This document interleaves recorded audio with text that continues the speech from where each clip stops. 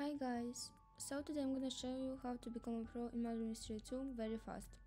And I'm gonna show you how to increase your level, how to get a lot of coins, and how to get nice weapons. So let's get started. And first I'm gonna show you how to increase your level in Murder Mystery 2.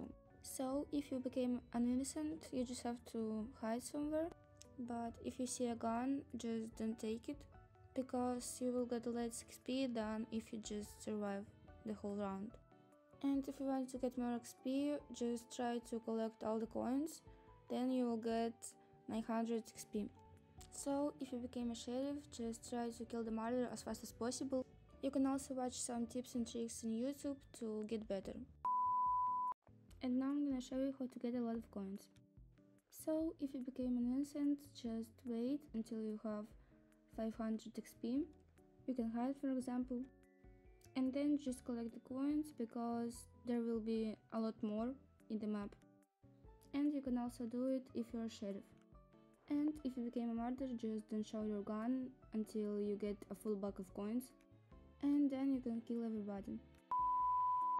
And the last is how to get cool knives and guns. I have a tutorial on my channel, but I'm gonna show you some methods here. And first method is quite easy.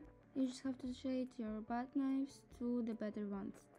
I also have one video about it on my channel, so if you want you can watch it.